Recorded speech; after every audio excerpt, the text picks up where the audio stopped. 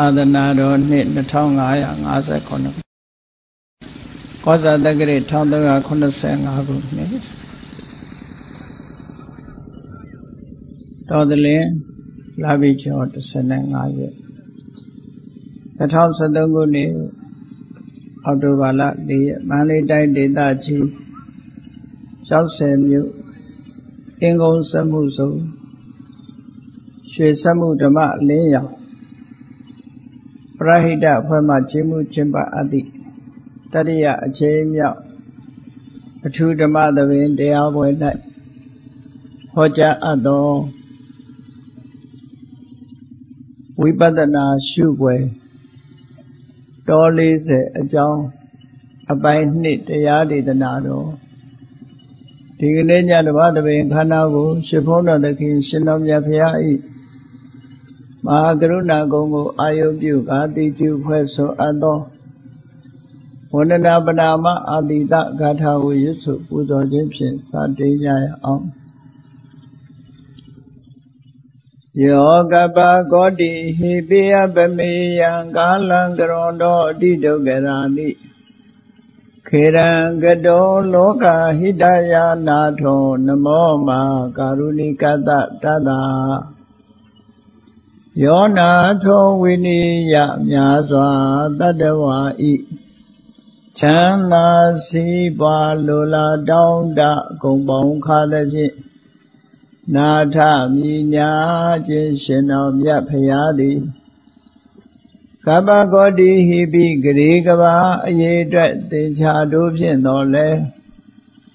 အဘေမိယံရည်တွေ့တိုင်းတာဖော်ပြခြင်းငါမစွမ်းနိုင်ပါသော ကာလံလေးအသင်ချေသိမ့်နေကဘာရှိတာသောကာလပတ်လုံးလောကဟိတယတတလောကဤအကျိုးစီးပွားအလုံးငါအတိဒုက္ခရာနိဩဇာအသက်ချေလက်အင်္ဂါမေတ္တာကြီးမာသမိတာနှင့်တထာဇနီဆွန်ញင်းကြီးဟုကျက်တိထဝေငါးသွဲအစုအလွန်ခဲရင်တော်မူတော်ကိုကရောတော် ဤတန်ကြိုးကုတ်အာထုတော်မူရသည်ဖြစ်၍ခေရန်လက်ချေမျက်လုံးအသက်ဆုံးလျက်နှလုံးစိတ်ဝံကိုရောဤပင်မခြင်းတို့ကတောဘဝဒါနံကျိန်ဖများစွာ ရောက်တော်မူကြရရှာလေပြီမဟာကရုဏီကတတတဝါများရင်ဝေတာကဲ့သို့တနာချစ်ခင်မဟာကရုဏာရှင်ဖြစ်တော်မူသော တသနာထသဝိနည်းများစွာတတဝဤချမ်းသာစီးပွားလိုလားတောင်းတအကုန်ပေါင်းခါသဖြင့်နာထမြညာထိုးရှင်တော်မြတ်ဖရာအားနမောယုတိပြောင်းပြော့မှန်ကိုလျော်၍ကရောယုကျိုးရှိခိုးခြင်းသည် အထုဘဝတုစင်စစ်မသွေဖြစ်ပါစေတည်း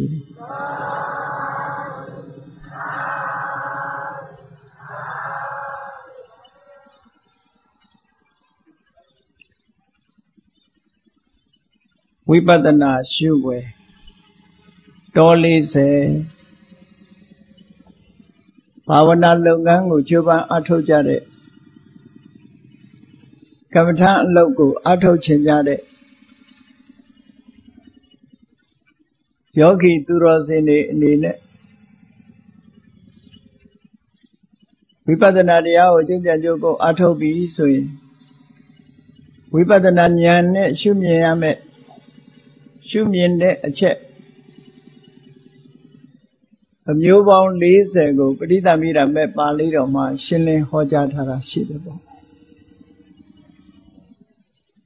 မိမိတို့ကိုယ်တိုင်ဘုရားဘာသာဝင်ဖြစ်ပြီးဖရာသာသနာတော်နဲ့ဂျုံတွေ့နေတဲ့အချိန်မှာတကယ်ကို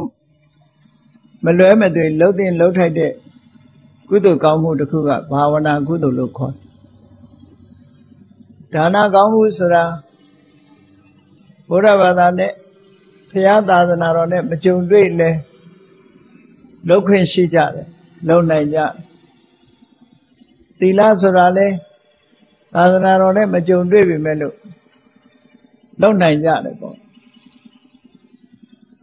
ဝိပဿနာဘာဝနာဆိုတဲ့ဒီလုပ်ငန်းကြတော့ဘုရားသာသနာတော်နဲ့ဂျုံတွေ့မှသာလုပ်နိုင်တာဖြစ်လို့တရားရှိခင်သူတော်စင်ပြိဿတ်တို့အနေနဲ့တဘဝတစ်ခါသာသနာတော်နဲ့ဂျုံတွေ့နေတဲ့အခိုက်မှာတို့တွေဝိပဿနာဉာဏ်ဖြစ်အောင်လို့ တတိဆောင်ပြီးတော့ဘာဝနာလုပ်ငန်းတစ်ခုအချိန်တစ်ခါပဲဖြစ်စေလှုပ်တဲ့လှုပ်ထိုက်တယ်ပေါ့ဒါကြောင့်မို့လို့ဒီကနေ့ဝိပဿနာရှုဖွယ်တော40ဆိုတာအများနားလည်တဲ့နည်းနဲ့ရှင်းလင်းဟောကြားပြီးတော့ပေးပါမယ်လူတိုင်းလူတိုင်းရထားတာဘာကိုရထားသလဲဆိုတာ အလုံးစဉ်းစားကြည့်ပဲဆိုရင်ခန္ဓာ၅ပါးရထားတယ်ရူပခန္ဓာလို့ဆိုတဲ့အပူအေးကြောင့်ဖောက်ပြန်နိုင်တဲ့ရုပ်တရားတွေရုပ်တရားအစုမျက်စိနာနာလျာကိုလို့ဆိုတဲ့အလုံးသိကြတဲ့မိမိတို့ ရုပ်ခန္ဓာကိုအစုဝေးတွေအလုံးကိုစုပေါင်းပြီးတော့ရူပခန္ဓာဆိုတဲ့ရုပ်အစုကိုလည်းရရရှိထားကြအာယုန်နေနဲ့တွေးကြုံတဲ့အခါထိုအာယုန်နေရဲ့အရသာကိုခံစားတယ်ခံစားရဆိုတဲ့နေရာမှာကျင့်တတ်တယ်မကျင့်တတ်ဘူးကြိုက်တယ်မကြိုက်ဘူးဆိုတဲ့အာယုန်ရဲ့အရသာတစ်မျိုးကို ခံစားသိရှိတတ်တဲ့နံသဘောတရားကိုဝေဒနာလို့ခေါ်တယ်အဲ့ဒီဝေဒနာအစုဝေးတွေကိုစုပေါင်းပြီးတော့ဝေဒနာခန္ဓာလို့ဒါလည်းဘုန်းကြီးတို့တွေရဲ့တဏ္ဍာမှာရှိတယ်ဆိုတာတတိပြုဖို့နောက်တစ်ခုကမျက်စိကပဲဖြစ်စေမျက်စိကအဆင်းမြင်တဲ့အခါပဲဖြစ်စေနားကအတန်ကြားတဲ့အခါမှာပဲဖြစ်စေ နှာခေါင်းကအနံ့ရတဲ့အခါမှာပဲဖြစ်စေလျှာကအရသာခံရတဲ့အခါမှာပဲဖြစ်စေခန္ဓာကိုယ်ကအထီးတွေ့တွေရရှိတဲ့အချိန်မှာပဲဖြစ်စေအစင်းတန်အနံ့ရတာအထီးတွေ့လို့ဆိုတဲ့အာယုန်တွေကိုစိတ်နဲ့မှတ်လိုက်တဲ့သဘာဝတရားပညာခန္ဓာလို့ခေါ်တယ် ဘာဝတရားတွေရဲ့အနေအထားကိုမှတ်ပြီးတော့နောက်တစ်ချိန်သိတဲ့အခါမှာလည်းအဲ့ဒီအမှတ်နဲ့ပဲပြန်ပြီးတော့သိတယ်အဲ့ဒီတင်ညက်ခန္ဓာဆိုတဲ့ခန္ဓာဟာလည်းပဲအလုံးပိဋကရဲ့တဏ္ဍာမှာရှိနေတယ်နောက်တစ်ခုလိုချင်တယ်မုန်းတီးတယ်မသိဘူးဆိုတဲ့သဘောတရားတွေမလိုချင်ဘူးမမုန်းတီးဘူး သဘာဝတရားတွေ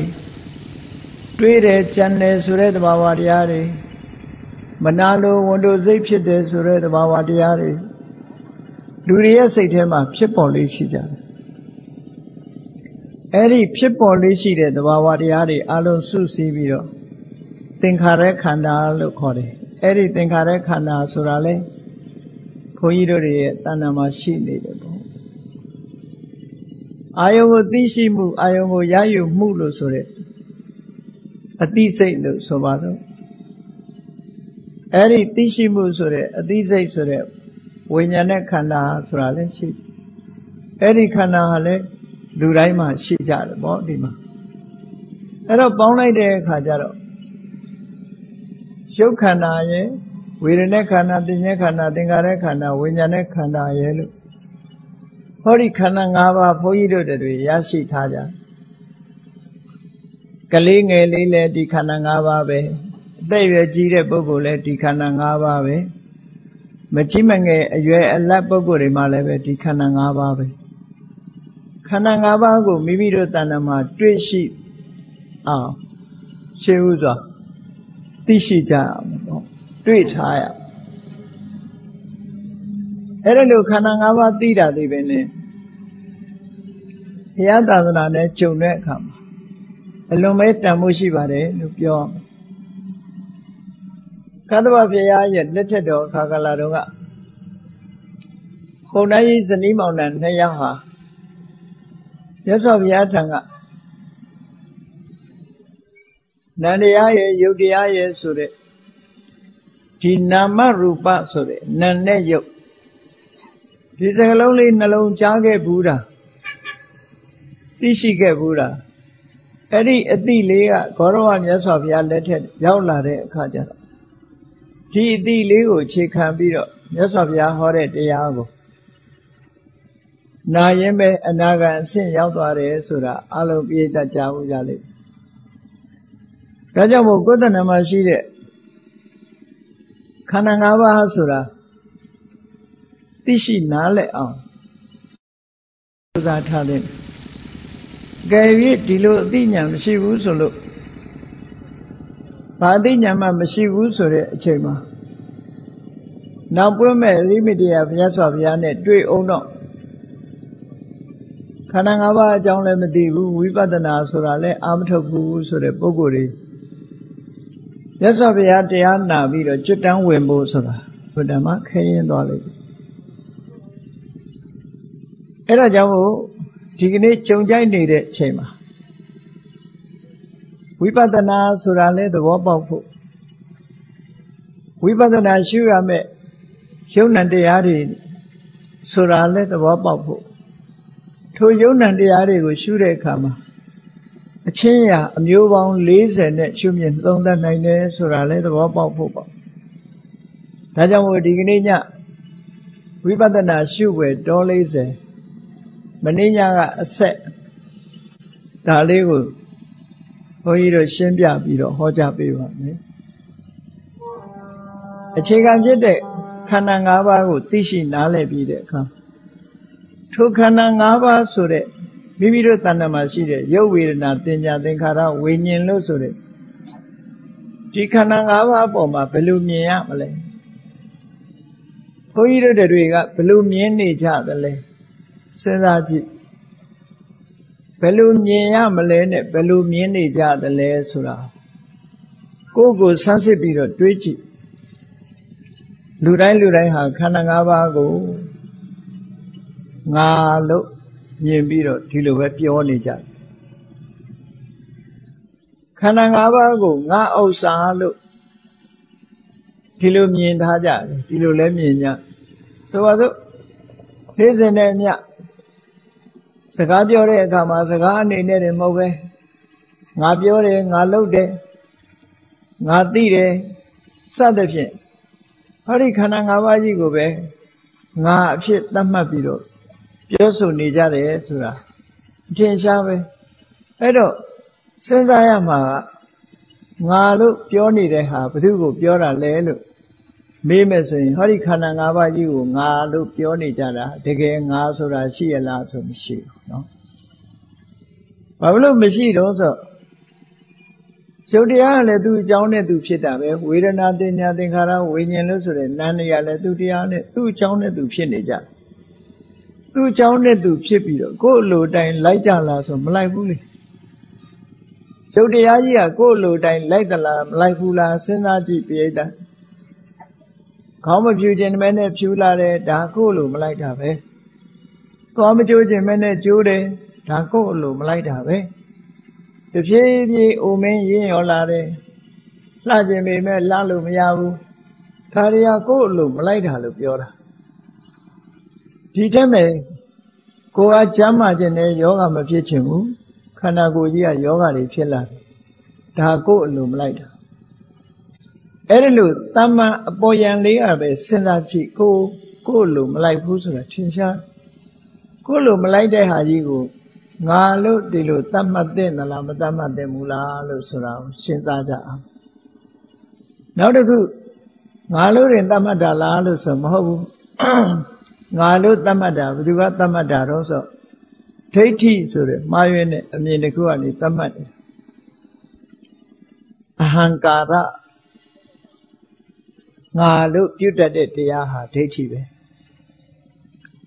ဒိဋ္ဌိကငါလို့တွေးတယ်လို့တဏှာကြတော့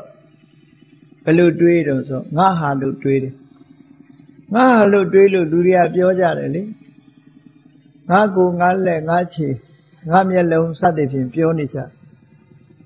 တကယ်လဲငါဟာလို့စိတ်ထဲမှာဆွဲလန်းထားကြငါဟာလို့ဆိုလို့ငါပိုင်အလားလို့ဆိုမပိုင်ဘူး ငါဟာလို့ပြောရင်ပြောရင်နဲ့ပဲမိမိတို့ပြောနေတဲ့ငါဟာဟာလက်လွတ်ဆုံးရှုံးသွားတာတွေကြီးပဲဖြစ်သွားတယ်ဒါကြောင့်မို့လို့ဒီခန္ဓာ၅ပါးဆိုတာငါလိုလဲပြောစရာမရှိဘူးငါဟာလိုလဲပြောစရာမရှိဘူးလို့အကျဉ်းချင်းလေးအာယုံပြုတ်ပြီးတော့နားထောင်ကြည့်နော်ကိုယ်စိတ်ထဲမှာသဘောကျလာအောင်နားထောင်တာတရားနာရင်လည်းဝိပဿနာဉာဏ်ဆိုတာဖြစ်သွားနိုင်တယ်ပေါ့ မြတ်စွာဘုရားလက်ထက်တော်အခါကလာတော့ကဘုရားဟောတဲ့တရားကိုနာရင်နဲ့ပဲသောတာပန်ဖြစ်တဲ့ပုဂ္ဂိုလ်ဖြစ်သွားတယ်တဂရကနာဂယန္နာဖြစ်တဲ့ပုဂ္ဂိုလ်တွေလည်းဖြစ်သွားကြဘာဖြစ်လို့လဲဆိုဘိယုတစိုက်နားထောင်ကြလို့ပဲတရားထဲမှာနှစ်မြုပ်ပြီးကိုယ်ခန္ဓာကိုခန္ဓာဉာဏ်ရောက်နားထောင်ကြည့်မယ်လို့ဆိုလို့ရှိရင် အော်ဒီသဘာဝတရားတွေဟာအမြဲတမ်းဟုတ်တာပဲလို့ဒီလိုသိရှိသဘောပေါက်လာတာဟာတရားအတိကိုသိတာပဲလို့ဒီလိုမှတ်ဒီအသိဉာဏ်လေးဟာမရင်ကျက်သေးခင်တော့သိပြီးတော့ပျောက်သွားပြီပဲနောက်တစ်ချိန်မှာဒီအသိဉာဏ်လေးကရင့်ကျက်လာနိုင်တယ်ပေါ့သိပြီးသားဆိုတာပျောက်ကွယ်သွားတယ်လို့မရှိဘူး တိုးတက်ပြီးတော့တဖြည်းဖြည်းရင့်ကျက်လာတာပဲရှိတယ်အေးဒါကြောင့်မလို့တရားနာနေတဲ့အချိန်လေးမှာပဲတခြားအချိန်တွေဝိပဿနာကျင့်စဉ်မကျင့်နိုင်သေးဘူးဆိုရင်တရားနာတဲ့အချိန်လေးမှာအာယုစိုက်ပြီးတော့ခန္ဓာဉာဏ်ရောက်ဆိုတဲ့ဘုဂုတ်ဆရာတော်ကြီးမိတ်ရှိတဲ့အတိုင်းပဲကိုယ်ခန္ဓာပေါ်မှာအသိဉာဏ်လေးတွေရောက်ဒါအရေးကြီးတယ်ပေါ့နော်ကောင်းပြီဝိပဿနာရှုစေ ဝိပဿနာရှုွယ်တော40တောဆိုဒီမှာရှုဖို့အချင်းရာပါဠိစာပေကအနိစ္စတောဒုက္ခတောအနတ္တတောနဲ့တောလေးနဲ့ဟောတာဖြစ်သောကြောင့်အချင်းရာရှုပုံရှုွက်40ရှိလို့ဒါကိုအလွယ်သိအောင်တော40လို့ခေါ်တာမြန်မာတွေခေါ်တဲ့တောကိုပြောတာမဟုတ်ဘူး ဝိပဿနာရှုွယ်တော40ဆိုတာဝိပဿနာဉာဏ်နဲ့ဝိပဿနာဉာဏ်နဲ့ဘောင်ဝင်လာတဲ့ရှုဖို့အချင်းရဟာအမျိုး40ရှိတယ်လို့အဲ့ဒီအမျိုး40ထဲမှာခန္ဓာ၅ပါးကိုရှုရခန္ဓာ၅ပါးကိုရှုရတယ်ကိုယ်ခန္ဓာကိုယ်ကြီးကိုကြည့်လိုက်မြဲသလားမမြဲဘူးလားကြည့်လိုက်လို့ရှင် မမြဲဘူးဆိုတာထင်ရှားတယ်ငါတစ်နှစ်သားဘဝနဲ့ဆယ်နှစ်သားဘဝမတူတော့ဘူးဆယ်နှစ်သားဘဝနဲ့အနှစ်20မတူတော့ဘူး20ရွယ်နဲ့30ရွယ်မတူဘူး30ကနေ40မတူတော့ဘူး40ကနေ50 50ကနေ60အဲ့ဒီကနေအထက်ကြီးသွားတာရုပ်တည်တူသလားလို့ဆိုမတူဘူးစိတ်ဆိုတာကြတော့ပို့ပြီးတော့လင်းမြန်တယ်ရုပ်ခန္ဓာကိုယ်ကြီးတောင်မှပဲ အခြေအနေဟာပြောင်းလဲပြီးတော့နေတာဖြစ်တော့ကြောင့်အော်မမြဲဘူးနောက်ဆုံးကြတော့မမြဲတဲ့ဒီခန္ဓာကိုယ်ကြီးဟာပျက်စီးဆုံးရှုံးပြီးတော့လူတွေရဲ့အမြင်ကနေပျောက်ကွယ်သွားအောင်ပါပဲလို့ဒီလိုရှုမြင်တဲ့ရှုမြင်မှုမျိုးကတခုလို့ဆိုလိုတယ်နောက်ထပ်ဒီခန္ဓာကိုယ်ကြီးရထားတာဟာချမ်းသာသလားလို့မေးကြည့်လိုက်လို့ဆိုရင် အမြဲတမ်းပဲချမ်းသာမလဲဆင်းရဲဒုက္ခတွေကျုံနေသည့်အတွက်ကြောင့်ခန္ဓာကိုယ်ကြီးရထားတာဟာဆင်းရဲတယ်ဆင်းရဲတယ်ဆိုဒီမှာကိုယ်ဘဝတစ်ခုကိုအမြဲတမ်းနုပြိုနေတဲ့အနေအထားမျိုးလုံးလို့ရလားမရဘူးအဲ့ဒီဖြစ်မှုပြက်မှုတွေကဒလဇက်ကပ်ပြီးတော့နှိမ့်ဆက်နေတာဖြစ်သောကြောင့်ဆင်းရဲတယ်လို့ဒီလိုရှုတာလည်းပဲရှုခွက်တစ်ခုပဲအဲ့တော့ ကိုယ့်ကိုယ်ကိုအာယုံပြုတ်ပြီးတော့မမြဲဘူးဆိုတာလဲကြည်တတ်ဖို့ဆင်းရဲတယ်ဆိုတာလဲကြည်တတ်ဖို့ဒီလိုကြည်တတ်ဖို့လေးတွေအဲ့တော့ဒီကနေ့အပိုင်းနှစ်မှာပဋိသင်္မိရမဲ့ပါဠိတော်မှာလာတဲ့အတိုင်းခန္ဓာကိုယ်နဲ့ပတ်သက်ပြီးတော့ရှုခွက်40ဝိပဿနာဉာဏ်နဲ့ရှုခွက်40ပေးထားတဲ့ထဲပဲ တတိယမြောက်ရှုခွက်ကဘာလဲလို့စာပေကျမ်းကမှာဆိုထားတဲ့အတိုင်းရှင်းဥစွာမှတ်သားဖို့ကဘာတော့ဆိုပင်စက်ခန္ဒီရောဂတော်ပင်စက်ခန္ဒီရောဂတော်ပတ္တန်တော်ဟောအနုလောမိကံခန္တိပฏิလဘတိ ဘုန်းကြီးတို့တွေကိုယ်တဏ္ဍာမှာရှိတဲ့ခန္ဓာကိုယ်ကြီးကိုကြည့်ခန္ဓာကိုယ်ကြီးကိုဘယ်လိုမြင်ရမလဲချမ်းသာတယ်လို့မြင်ရမလားယောဂကြီးလို့မြင်ရမလားဒီလိုကြည့်ခိုင်းတာပေါ့နော်ခန္ဓာကိုယ်ကြီးကတကယ်ကျမ်းမာနေတာလားသို့မဟုတ်တကယ်ယောဂတွေနဲ့လားလို့ဆိုလောကမှာယောဂမရှိတဲ့ပုဂ္ဂိုလ်ဆိုတာရှိမှမရှိဘူးယောဂဆိုတာဘာကိုခေါ်တာတော့ဆို နာတာကျင်တာကြိုက်တာခဲတာဒါတွေဟာလဲရောဂယောဂပဲအခုခေတ်ပြောတဲ့ယောဂမျိုးမျိုးတွေမဟုတ်ဘူးခန္ဓာကိုယ်ကြီးရဲ့သဘာဝကိုနာရတ်တယ်ကျင်တတ်တယ်ကြိုက်တတ်တယ်ခဲတတ်တယ်ညောင်းညာတယ်အဲ့တော့ခန္ဓာကိုယ်ကြီးကိုကြည့်လိုက်မယ်ဆိုလို့ရှိရင်ခန္ဓာကိုယ်ကြီးတစ်ခုလုံးဟာဘယ်နေရာပဲဖြစ်လိုက်နာလိုက်အောင်းလိုက် ဒီလိုဖြစ်နေတဲ့အပြင်မှာရှင်းတော့ကပြော96ပါးယောဂဝေဒနာဒီကနေ့ခေတ်မှာအလွန်များပြားလာတဲ့ယောဂဝေဒနာတွေဆိုတာလေဘယ်မှာဖြစ်တာလဲလို့စဉ်းစားကြည့်ဒီခန္ဓာကိုယ်ကြီးမှာပဲဖြစ်တာဒီခန္ဓာကိုယ်မှာဖြစ်တာရုပ်ခန္ဓာမှာဖြစ်တဲ့ယောဂတွေရှိတယ်လို့စိတ်မှာဖြစ်တဲ့ယောဂတွေကလည်းအများကြီးပဲလောကလူတွေကယောဂလို့ဆိုတာ ရုပ်ခန္ဓာကိုယ်မှာဖြစ်တဲ့ယောဂလောက်ပဲပြောကြတယ်စိတ်မှာဖြစ်တဲ့ယောဂတွေကနေ့စဉ်နဲ့အများအများကြီးရုပ်မှာဖြစ်တဲ့ခန္ဓာတွေကြတော့ခုခေတ်မှာကြောက်ခမန်းလိလိ HIV တဲ့နော်ယောဂဝေဒနာတွေ AIDS တဲ့နောက်ပြီးတော့ကင်ဆာယောဂတဲ့ယောဂတွေခုခေတ်အင်တာမများတယ် အသေးယောဂကြောက်ကယောဂနှလုံးယောဂယောဂတွေအများကြီးသွေးတိုးယောဂဆီချိုယောဂနဲ့အဲ့ဒါတွေကဘယ်မှာဖြစ်တာတော့ဘယ်မှာဒါတွေကပေါ်တာတော့လို့ဆိုခန္ဓာမှာပဲပေါ်နေတာရုပ်ခန္ဓာကြီးမှာပေါ်နေတာဆိုတော့ဖြစ်သည်မြရုပ်ခန္ဓာကိုကြီးကိုကယောဂကြီးပဲလို့ဒီလိုမြင်တတ်ဖို့လိုတယ်ပေါ့။ငါရထားတဲ့ခန္ဓာ၅ပါးယောဂကြီးရတယ်။ ဒါဖြင့်စိတ်မှာရောယောဂမရှိဘူးလားဆိုရှိတာပေါ့။အလိုမကြရင်ဒေါသဖြစ်တယ်အလိုကြရင်လောဘဖြစ်တယ်။အမှန်မသိတဲ့မောဟတွေဖြစ်တယ်။တူတယောက်ကိုယ်တည်းတာသွားရင်မနာလိုဖြစ်တယ်။ငါလုံနိုင်တယ်ကတတ်နိုင်တယ်ဆိုတဲ့မာနတွေဖြစ်တယ်။မိမိကြီးပွားသလိုသူတော်ဘာမကြီးပွားစေခြင်းဘူးဆိုတဲ့မစ္စရိယတွေဖြစ်တယ်ဒါတွေဟာစိတ်ရဲ့ယောဂတွေပဲလို့ဆိုလိုတယ် ဒီတဲ့ယောဂကြည့်လိုက်ရင်တော့အဲ့ဒါစိတ်အထူးခုစိတ်ုံသွားရမှာနော်အဲ့တော့ခန္ဓာကိုယ်မှာလည်းကြည့်လိုက်ရင်ယောဂစိတ်မှာကြည့်လိုက်ရင်လည်းယောဂဆိုခန္ဓာ၅ပါးကြီးကိုဝိပဿနာအမြင်နဲ့ဘယ်လိုရှုရမလဲလို့ဆိုဩခန္ဓာကိုယ်ကြီးဟာအမြဲတမ်းနားကျင်နေတာဖြစ်သောကြောင့်တကယ်ယောဂတွေပါလားလို့ယောဂကြီးပါလားလို့ ဒီလိုရှုမြင်မှုလိုအပ်တယ်လို့ဒီလိုပြောတာနော်ယောဂကြီးပဲခန္ဓာကိုယ်ကြီးဟာတကယ်ယောဂကြီးပဲအဲ့တော့ယောဂဆိုတဲ့သဘောကိုထင်ရှားအောင်ဘယ်လိုနှလုံးသွင်းရမလဲစဉ်းစားကြည့်အဲတပည့်တော်တို့ကတော့ယောဂမရှိဘူးကျမ်းမာတယ်ဘာမှမဖြစ်ဘူးလို့ပြောကောင်းပြောလာလိမ့်မယ်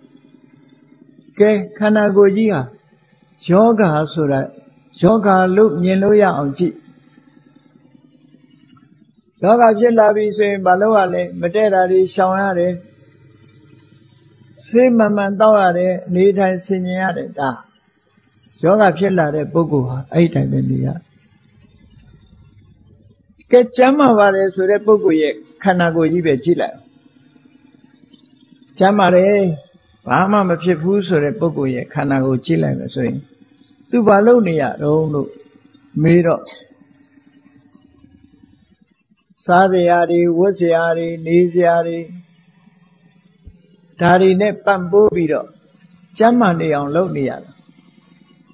ကဲမစားဘဲနဲ့နေကြည့်ပါလားအဝတ်မိုးဘဲနဲ့နေကြည့်ပါလားဥရုအေးနေပြီအနှွေးတယ်မချုံဘဲနဲ့နေကြည့်ပါလားရာသီဥရုကပူးနေတယ်အဝတ်နဲ့အကောင်ဝယ်မလုပ်ဘဲနေကြည့်ပါလားမရဘူး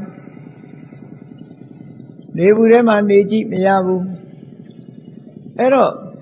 ခန္ဓာကိုယ်ကြီးဆိုတာစားစရာဝတ်စရာနေစရာမကြမ်းမာရင်ဆေးဝါးဆိုတာတွေနဲ့အမြဲတမ်းထိမ့်မနေရပေဘူးလားလို့ခြေလိုက်မယ်ဆိုရင်ထိမ့်နေရတာပဲလေထိမ့်နေရတယ်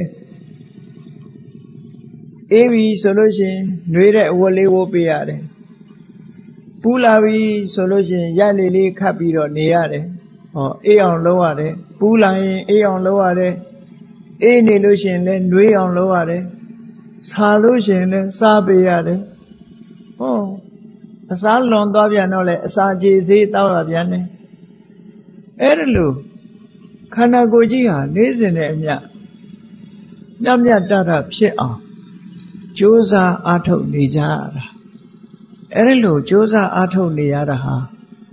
ယောဂကြီးနဲ့အလားသဏ္ဍာန်တူးနေတယ်ယောဂကြီးပဲလို့ဒီလိုမြင်ဖို့လို့ဆိုလို့တယ်နော်အဲ့ဒါကြောင့်မို့စာပေကျမ်းကမှာဖွင့်ထားတာသူကပစ္စယယာပနိယတာယအထောက်အကူတွေနဲ့အမြဲတမ်းပြုပြင်နေချမပြုတ်ပင်မဲ့နဲ့ထားကြည့်ပါလားအေးတဲ့အချိန်မှာအနှွေးတယ်မဟုတ်ဘူး နော်ပူတဲ့အချိန်မှာအေးအောင်မလုပ်ဘူးစားတဲ့အချိန်မှာစားမပေးဘူးဆိုလို့ရှိရင်ဒီခန္ဓာကိုယ်ကြီးဟာအသက်ရှင်နိုင်ပါမလားမရှင်နိုင်ဘူးဒါကြောင့်မလို့ဒီခန္ဓာကိုယ်ကြီးဟာယောဂကြီးမှုအမြဲတမ်းအထောက်အကူတွေနဲ့ပြုပြင်ထိမ့်သိမ့်ပြီးတော့နေရတာဖြစ်သောကြောင့်ခန္ဓာ၅ပါးကိုယောဂကြီးလို့ဒီလိုရှုမြင်ရမယ်လို့ဒီလိုဆိုတာ အဲ့ဒါလို့ရှုမြင်မှခန္ဓာ၅ပါးအပေါ်မှာတွေ့တာမှုတွေလျှော့ချနိုင်မှာဘုန်းကြီးတို့တွေတန်တရားကပါလာတဲ့ခန္ဓာပေါ်မှာတွေ့တာမှုကအလွန်ကြီးမားပြီးတော့အလွန်စွဲနေလောကမှာစွဲတဲ့ဆေးအောင်ဆိုးထားရင်အတော်နဲ့ချွတ်လို့ရတာမဟုတ်ဘူးအဲ့ဒါလိုပဲ လူတွေရဲ့စိတ်ထဲမှာဆွဲလန်းနေတဲ့အစွဲတရားဟာချွတ်ဖို့ဆိုတာအမတမခဲရင်ဒီဘဝမှာရင်ကိုယ့်ကိုကြည့်လူတိုင်းလူတိုင်းဟာမိမိရထားတဲ့ခန္ဓာကိုယ်ကြီးမလှလှရေးမဝဝရေးလေးစင်တဲ့အမြပြုပြင်ထိမ့်သိမ့်ပြီးတော့ပေးနေကြရတာတဲ့မထိမ့်သိမ့်မဲနဲ့နေကြည့်ပါလား မနဲ့မိုးလင်းတာနဲ့တပြိုင်နက်တွိုင်းလက်အိမ်သာဝင်ရမျက်နှာတစ်ကြရသွားတိုက်ကြရပြီးတဲ့အခါဝန်းဖြေးကြရဒီတိုင်းမလုပ်ဖဲနဲ့နေကြည့်လို့ရှင်ခန္ဓာကိုယ်ကြီးရဲ့အနေအထားဘလို့ဖြစ်သွားမလဲစဉ်းစားကြည့်ပေါ့အဲ့ဒါကြောင့်မို့လို့ပစ္စယယာပနိယတာယအထောက်ကူတွေနဲ့ မြတ်တအောင်အသက်ရှိအောင် ထိန်းချောင်းပေးပေးနေရတာဖြစ်သောကြောင့်ယောဂရှိတဲ့ပုဂ္ဂိုလ်သည်ဆေးတောက်နေရတယ်လို့ပဲခန္ဓာရရှိတဲ့ပုဂ္ဂိုလ်သည်အမြဲတမ်းမိဝဲနေကြဘာတွေမိဝဲရတာတော့စားစရာမိဝဲရတယ်ဝတ်စရာတွေဝတ်ပေးရတယ်နေစရာတွေလုပ်ပေးရတယ်အဲ့ဒါကြောင့်မို့လို့ခန္ဓာကိုယ်ကြီးကိုယောဂကြီးနဲ့တူတယ်လို့ဒီလိုရှုမြင်နိုင်အောင်ကြိုးစားပါ ခန္ဓာ၅ပါးကိုယောဂလို့ရှုဒါကြောင့်မို့ပစ္စက်ခန္တီမိမိတဏ္ဍမှာရှိတဲ့ခန္ဓာ၅ပါးတို့ကိုယောဂတော်အနာယောဂဟူ၍ပတ္တန်တော်ဝိပဿနာဉာဏ်ဖြင့်ရှုမြင်တဲ့ယောဂီပုဂ္ဂိုလ်ဟာအနုလောမိကံခန္တေနဲ့မဉဏ်ကို ပေါင်းကူးပေးနိုင်တဲ့ အလွန်ရင့်တန်တဲ့ဝိပဿနာဉာဏ်လို့ဆိုတဲ့စွမ်းရည်ထက်မြက်တဲ့ဝိပဿနာဉာဏ်အနုလောမိကခန္တီဉာဏ်ကိုပฏิလေဝတိရရှိနိုင်တယ်ဆိုအဲ့ဒါလို့ရှုယုံနဲ့ပဲဝိပဿနာဉာဏ်နေထိတ်ထီအောင်ရောက်နိုင်တယ်လို့ဒီလိုပြောတာနော်အဲ့တော့ခန္ဓာ၅ပါးကိုဘယ်လိုရှုရမလဲလို့ဆိုရင်ယောဂလို့ရှုဘာဖြစ်လို့ယောဂလို့ရှုခိုင်းတာတော့အေးခန္ဓာကိုယ်ကြီးတည်မြဲနေအောင်အမြဲတမ်းထိန်းချောင်းပေးနေရလို့ဒါကြောင့်မို့ ယောဂလည်းပဲယောဂပြောင်းအောင်တက်တောင်အောင်ဆေးနဲ့အမြဲထိန်းနေရတယ်လို့ပဲယောဂရှိတဲ့ပုဂ္ဂိုလ်တွေနားလေတယ်အမြဲတမ်းဆေးတောက်ရတယ်ဆေးနဲ့ထိန်းထားရတယ်လို့ပဲခန္ဓာကိုယ်ကြီးကလည်းအမြဲတမ်းစားစရာတောက်စရာတွေနေစရာထိုင်စရာဝတ်စရာတွေနဲ့ထိမ့်ပေးနေရတယ်ဒါကြောင့်ခန္ဓာကိုယ်ကြီးကယောဂကြီးပဲလို့အခုလို့သေးသေးချာချာစဉ်းစားပြီးတော့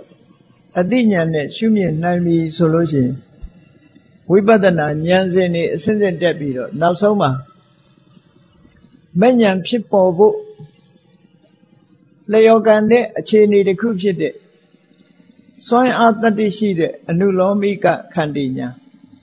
လျော်ကန်သည့်အတွက်ကြောင့်အနုလောမိကလို့ခေါ်တယ်စွမ်းရည်တတ္တိရှိလို့ခန္တီလို့ခေါ်တယ်သိခံလို့ခန္တီခေါ်တာမဟုတ်ဘူးဒီနေရာမှာ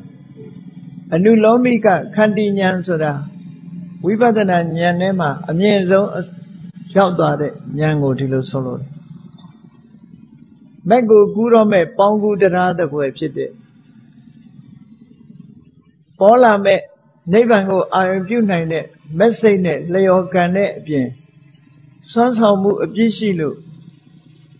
အနုလောမကအနုလောမိကခန္တီလို့ခေါ်တဲ့အဲ့ဒီအသိဉာဏ်တစ်မျိုးကိုရရှိသွားနိုင်တယ်လို့ဒီလိုဆိုတာနော်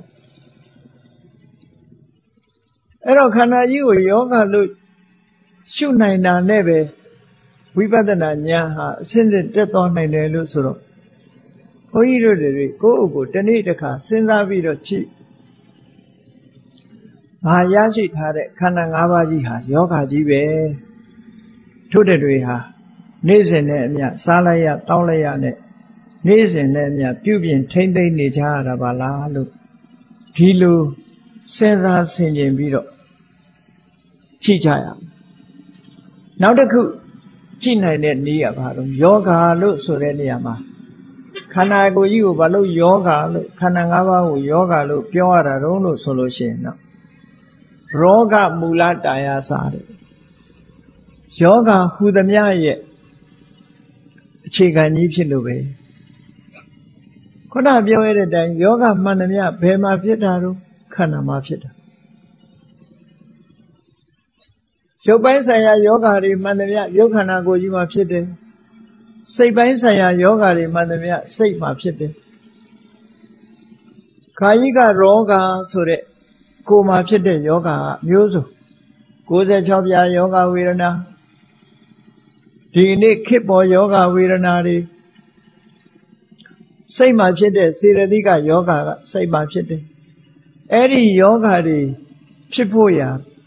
ဖြစ်ခြင်းရဲ့အကြောင်းဖြစ်ရမယ့်နေရာအခြေခံဟာဘယ်သူလဲလို့ဆိုရင်ဟောဒီခန္ဓာ၅ပါးကြီးပဲဖြစ်တယ်တဲ့ဒါကြောင့်မို့ဘုန်းကြီးတို့တွေမှာရှိနေတာဟာဘာရှိတာတုံးဆိုခန္ဓာ၅ပါးရှိတယ်အဲ့ဒီရှိထားတဲ့ခန္ဓာ၅ပါးသည်ယောဂပဲလို့တကယ်ယောဂကြီးပဲလို့ဒီရှုထောင့်နှစ်ခုကနေပြီးတော့အခုလို့ဝိပဿနာဉာဏ်ဖြင့်ရှုမယ်ဆိုလို့ရှိရင် ဝိပဿနာဉာဏ်နေထဲမှာအမြင့်ဆုံးဖြစ်တဲ့အနုလောမိကခန္တီဉာဏ်ကိုရသွားတယ်ဒါရယုံတော့ရပြီးတဲ့အခါဘာဖြစ်လာလဲဆိုဟောဒီခန္ဓာကြီးရှိနေသမျှငါတို့တဏ္ဍမှာယောဂါတွေပဲလို့ခန္ဓာကိုယ်ကြီးဟာယောဂါဖြစ်သည့်အတွက်ကြောင့်ခန္ဓာ၅ပါးရှိနေသမျှယောဂါရှိနေတာပဲလို့ဒီအမြင်မျိုးကိုမြင်လာပြီဆိုလို့ရှိရင်တော့ခန္ဓာ၅ပါးမရှိတာကိုသဘောကျလာလိမ့် ကောင်းပြီခန္ဓာ၅ပါးမရှိအောင်မြတ်စွာဘုရားဟောကြားတော်မူခဲ့တဲ့တတိပဋ္ဌာန်ကျင့်စဉ်တခုကိုကျင့်မယ်ကျင့်တယ်ဆိုတာမဂ္ဂင်၈ပါးအကျင့်တရားဟာတတိပဋ္ဌာန်ကျင့်စဉ်နဲ့မှတူတူပဲမြတ်စွာဘုရားဟောတယ်တခုတည်းသောနိဗ္ဗာန်ကိုဥတည်တဲ့အကျင့်ဒီအကျင့်ပဲလို့အဲ့ဒီကျင့်ကြံကြုတ်ကိုအားထုတ်လိုက်တာဟောဒီဝိပဿနာအကျင့်ဟာ နိဗ္ဗာန်ကိုဥတည်တဲ့အကျင့်ပဲဖြစ်ပြောရမယ်ဆိုရင်ခန္ဓာ၅ပါးကိုယောဂါလို့ရှုမြင်သုံးသပ်နေခြင်းဟာနော်ရှုမြင်သုံးသပ်နေခြင်းဟာ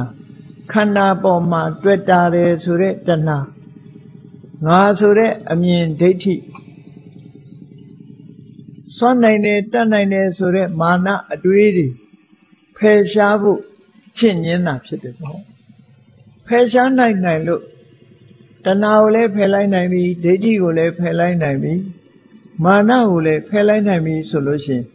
ဟောဒီခန္ဓာကြီးဟာကိလေသာတွေကုန်သွားလို့ရှိရင်နောက်ထပ်ဖြစ်နိုင်တော့တာမဟုတ်တော့ဘူးမဖြစ်နိုင်လို့ရှိရင်ခန္ဓာ၅ပါးပေါ်မှာတွေ့တာမှုကင်းပြတ်သွားလို့ရှိရင်ခန္ဓာ၅ပါးကြီးဟာချုပ်ငိမ့်သွားမှာပဲဒါကြောင့်မို့ယောဂလို့ရှိတဲ့ပုဂ္ဂိုလ်ဒီ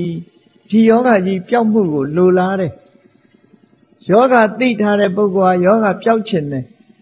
ဘယ်ကတိယောဂကြည့်လေသွေးတို့ယောဂရှိတဲ့လူကလည်းသွေးတို့ယောဂပျောက်ခြင်းတယ်စီကြိုယောဂရှိတဲ့ပုဂ္ဂိုလ်ကလည်းစီကြိုယောဂပျောက်ခြင်းနှလုံးယောဂရှိတဲ့ပုဂ္ဂိုလ်ကလည်းနှလုံးယောဂပျောက်ခြင်းကိုယ်တဏ္ဍမှာဖြစ်နေတဲ့ယောဂတွေမှန်တယ်များလူတိုင်းဟာပျောက်ခြင်းတယ်အေးခန္ဓာ၅ပါးကြီးကိုယောဂလို့သိလိုက်တာနဲ့တပြိုင်နက် ခန္ဓာ၅ပါးကြီးမရှိမှဒီယောဂတွေဟာပျောက်မယ်ခန္ဓာ၅ပါးကြီးမရှိတာကိုလိုလားလာတဲ့သဘောတွေပေါ်လာနိုင်တယ်ပေါ့အဲ့တော့ခန္ဓာ၅ပါးမရှိတော့ဘူးအကြောင်းတရားတွေချုပ်သွားလို့ခန္ဓာ၅ပါးမပေါ်လာတော့ဘူးဆိုလို့ရှိရင်ဘာဖြစ်လဲပိစဏံခန္ဓာနံនិရောဓောခန္ဓာ၅ပါးဟာအကြောင်းတရားကုန်လို့ချုပ်ငိမ့်သွားပြီဆိုလို့ရှိရင်ဘာဖြစ်လဲ အာရောက်ချံလုံးဝချမ်းသာမှုခန္ဓာ၅ပါးကယောဂခန္ဓာ၅ပါးရှိနေတာကယောဂခန္ဓာ၅ပါးချုပ်ငိမ့်သွားတာကကျမ်းမာခြင်းတကယ်ကျမ်းမာမှုဆိုတာခန္ဓာ၅ပါးမရှိတော့မှကျမ်းမာမှုဆိုတာဖြစ်တယ်အဲ့ဒါကိုယောဂီပုဂ္ဂိုလ်အနေနဲ့သဘောပေါက်နားလည်သွားတဲ့အခါကျတော့ပိစဏံခန္ဓာနံនិရောဓခန္ဓာ၅ပါးချုပ်ငိမ့်သွားမှုဟာ အာရောက်ကြံကျမ်းမာခြင်းပဲအဲ့ဒီကျမ်းမာခြင်းဟာနိဗ္ဗာန်တကယ်နိဗ္ဗာန်အစစ်ပါပဲလို့အဲ့ဒီလိုပတ္တန်တော်ရှုမြင်မယ်ဆိုလို့ရှိရင်တမ္မတ္တနိယမဩကမတိခန္ဓာ၅ပါးရဲ့အပြစ်တွေကိုမြင်ပြီးတော့ခန္ဓာ၅ပါးချုပ်ရနိဗ္ဗာန်ဟာတကယ်ကျမ်းမာမှုပဲလို့နိဗ္ဗာန်ကိုအာယုံပြုနိုင်လိုက်တာနဲ့တပြိုင်တည်းဘာဖြစ်လဲ တမ္မတ္တနိယမလို့ဆိုတော့လုံးဝမှန်ကန်ပြီးခိုင်မာတဲ့မဉ္ဇဉ်တစ်ခုကိုရရှိသွားနိုင်တယ်ဒီလိုဆိုလိုတာပေါ့နော်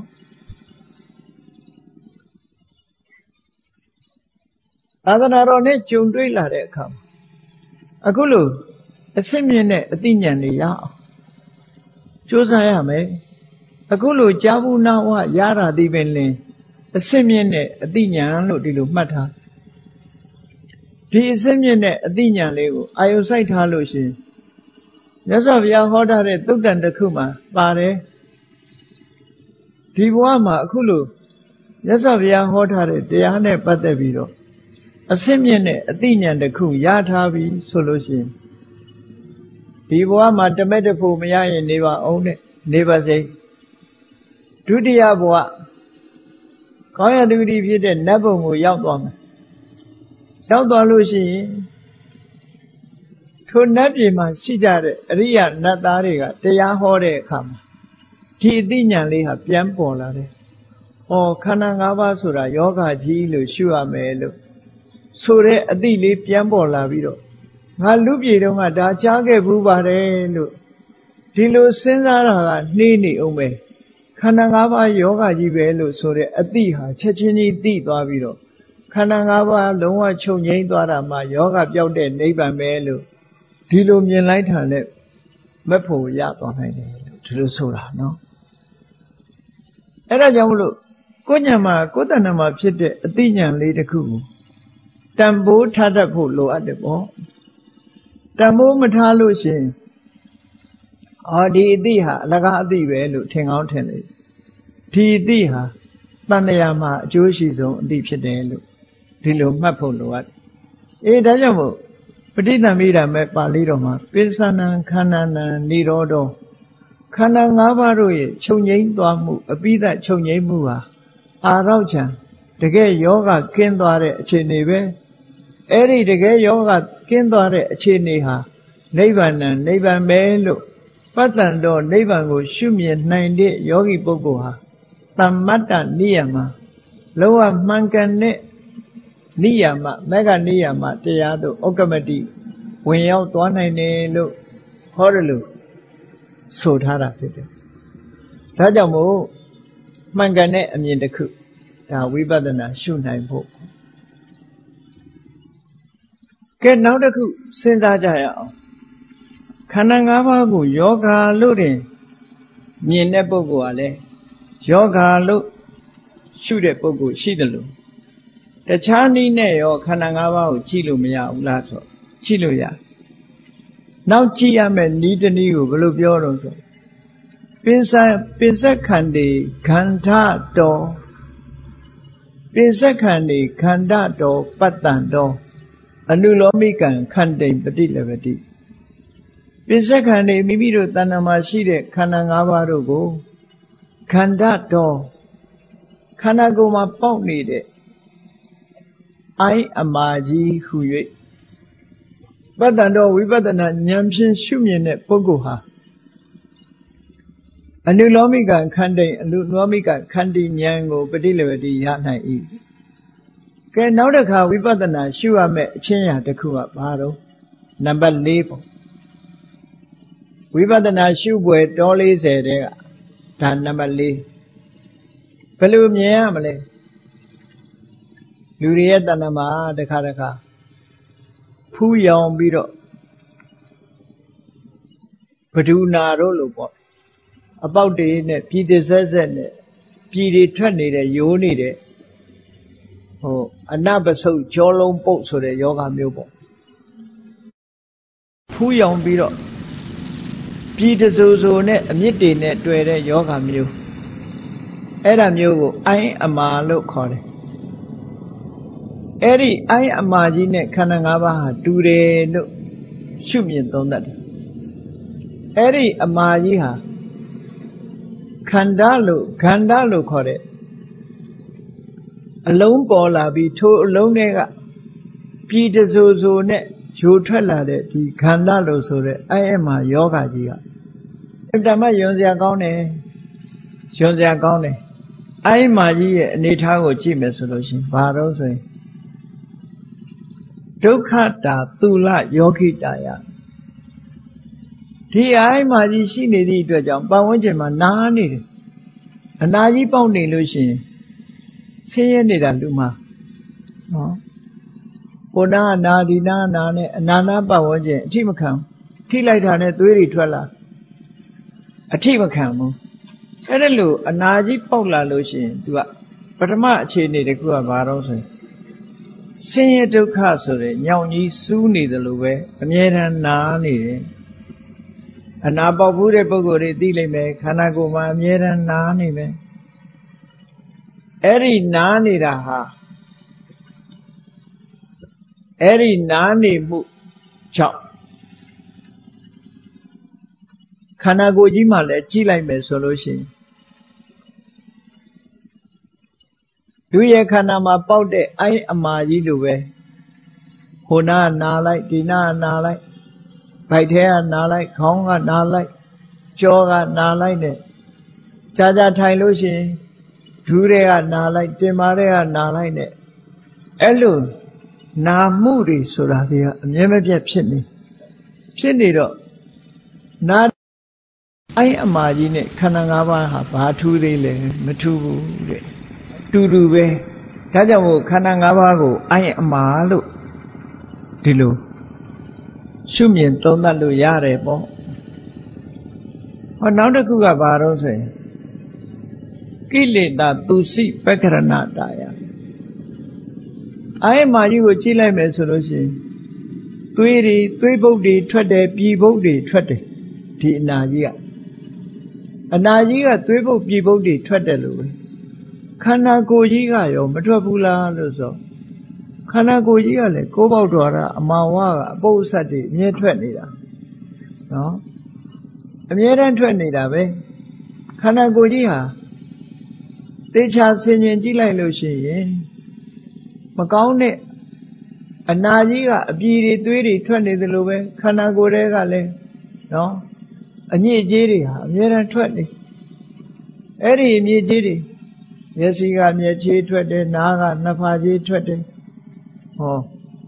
ဒီလိုပါဇက်ကတရွေးတွေထွက်တယ်ဆိုတာလို့ခန္ဓာကိုယ်မှာအခုလိုထွက်လာသမျှတွေဟာအညစ်အကြေးတွေကြီးပဲထွက်တယ်နောက်တစ်ဘက်ကကြည့်မယ်ဆိုလို့ရှိရင်ဘာတွေဖြစ်သေးတုံးလို့ခန္ဓာကိုယ်ထဲမှာကြည့်လိုက်မယ်ဆိုရင်ဘာတွေထွက်လာသေးတုံးဆိုအာယုံကောင်းတာလေးတွေ့ရင်လောဘဆိုတဲ့အညစ်အကြေးကထွက်လာတယ် မௌဒိစရာနှလုံးသွင်းမှုမမှန်မကန်တဲ့အခါမှာကိုမကြိုက်တဲ့အရာတွေ့လို့ရှိရင်ဒေါသဆိုတဲ့အညစ်အကြေးကထွက်လာတယ်မာနဆိုတဲ့အညစ်အကြေးတွေထွက်လာတယ်အိတ်တာဆိုတဲ့အညစ်အကြေးတွေထွက်လာ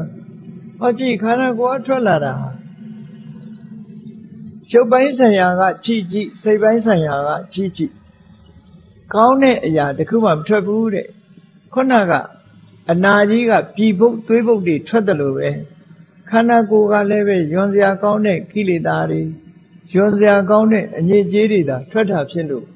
ခန္ဓာကိုယ်ကြီးဟာကြည့်အိုင်းအမာကြီးနဲ့တူတယ်လို့ဒီလိုပြောတာကိုဉာဏ်ရှိတယ်လို့ချက်ပြီးတော့ကြည့်ပေါ့ကိုယ်ခန္ဓာကိုယ်ကြီးရဲ့သဘာဝကိုတွေးကြည့်လို့ရဟောနောက်တစ်ခုကဘာပြောတာတုံးလို့ဆိုဥပ္ပါဒဇရာဘင်္ဂေဟိဥဒ္ဓမာဒ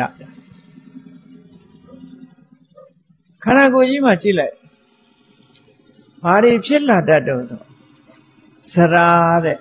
ရုပ်ခန္ဓာကိုယ်ကြီးမှာအိုမင်းလာနာမလည်းပဲဇရာရှိပေမဲ့မထင်ရှားဘူးရုပ်ခန္ဓာကိုယ်ကြီးရဲ့ဇရာတရားဆိုတာထင်ရှားတယ်